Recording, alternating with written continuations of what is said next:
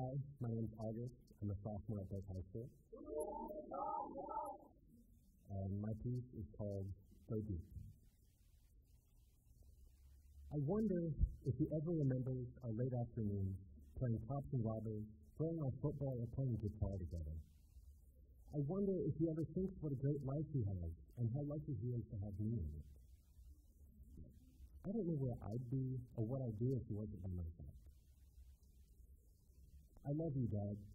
Sits above my keyboard, the bright light tearing my eyes as my son hovers above sand. I wish I could just cook it, but I wish a lot of things. I wish he was by my side. I wish I could hear his voice say, I'm proud of you, son. But no. Cracked sidewalks, broken homes, and shattered dreams stick to the soles of my black shoes like shards of glass. Scraping the pavement as I walk along, the sound piercing my ears, sending shivers through my body, like, like when your words used to beat down on me, leaving hand-print bruises across my lips. Stitching my mouth closed with a needle, laced with your I love you, and forced I'll see you soon. This game you play of begging for my affection leaves my tongue stained and throat burned after I let you back into my life. These lies, this false memories into my existence, thrown my way by the one that taught me how to throw but never how to catch. Right after I hear, go deep, I turn away sprinting, and when I turn back, you're gone.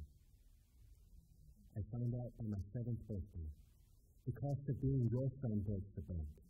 A card with a corner trying to buy my affection.